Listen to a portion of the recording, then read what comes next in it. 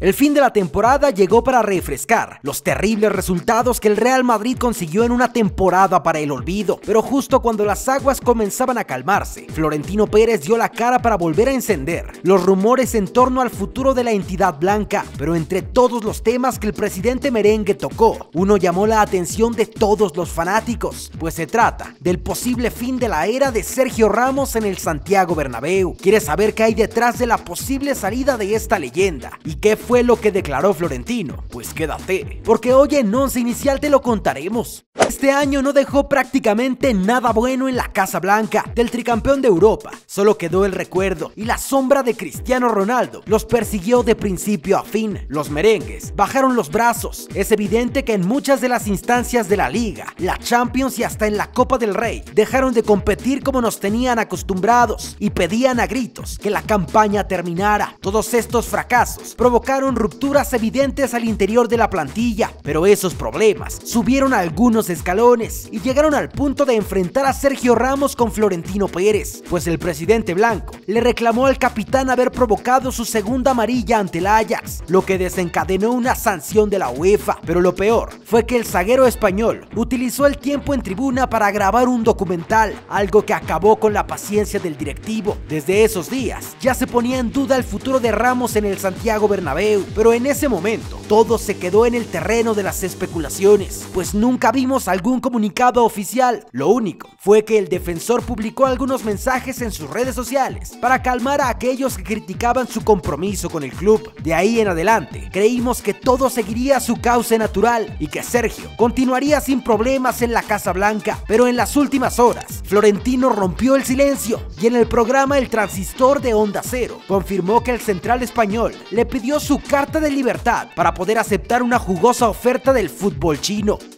Según las palabras de Florentino Pérez, él, Sergio Ramos y su agente tuvieron una reunión en Valdebebas, donde el capitán le comunicó que tenía intenciones de aceptar una oferta de la Superliga China, pero que buscaba que su salida se diera gratis, pues los asiáticos no podrían pagar su transfer. Gracias a las investigaciones de diversos medios de comunicación en España, hoy sabemos que al 4 merengue le pusieron en la mesa la posibilidad de firmar por 35 millones por temporada, algo que podría interesar a cualquiera y que representa un aumento considerable a los 12 millones que cobra en el Real Madrid, cifra que por cierto lo tiene como el mejor pagado de la plantilla, pero a pesar del interés de Ramos para romper las filas blancas y embarcarse en esta millonaria aventura asiática, Florentino Pérez le respondió con un no rotundo, afirmando que no podía sentar un precedente así, donde el capitán se fuera tan fácil y gratis, por lo que si algún club lo busca, tendrá que estar dispuesto a desembolsar los 800 millones de dólares de su cláusula de rescisión, algo que consideramos impagable, sobre todo por un futbolista que aunque sigue siendo uno de los mejores zagueros del mundo, ya tiene 33 años. Lo cierto es que Sergio tiene contrato con el Madrid hasta el 2021 y esto hace prácticamente imposible que el club le dé su carta de libertad,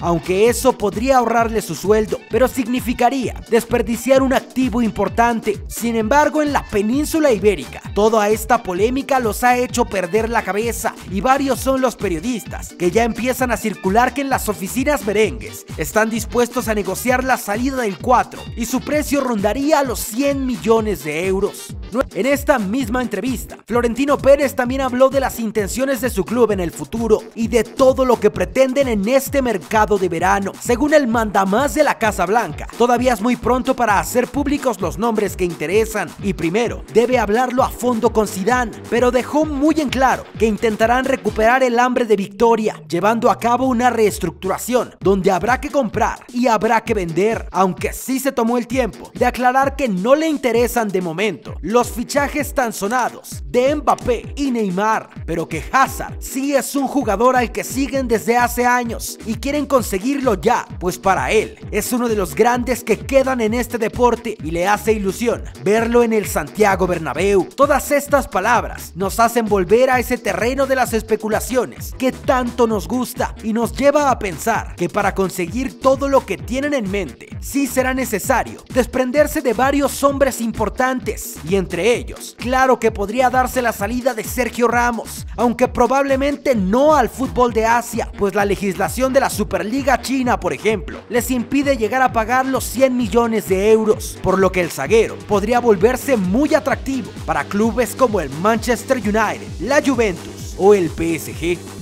Decirle adiós a una leyenda de este tamaño nunca será cosa fácil, pero es algo natural en un deporte donde las carreras son tan cortas. Sergio Ramos ha pasado 14 años vistiendo la casaca blanca y llenar sus zapatos no será cosa fácil, aunque aún no podemos confirmar nada, pero todos los rumores que envuelven esta situación nos recuerdan a lo sucedido con Cristiano Ronaldo y parece que una vez más será la crónica de una muerte anunciada. Pero cuéntanos, ¿crees que dejar salir a Sergio Ramos sería una buena decisión? Déjalo en los comentarios, nos interesa mucho leer tu opinión y si estás de acuerdo con nosotros, nos ayudarías un montón dejando tu like. Muchas gracias por ver el video, suscríbete. Dicen que si no lo haces, el Madrid nunca encontrará otro defensa tan efectivo que lesione a sus rivales. No olvides prender la campanita para que seas de los primeros en ver los nuevos videos. También puedes seguirnos en todas nuestras redes sociales. En ellas hacemos contenido todos los días para que no te pierdas nada del deporte más hermoso del mundo.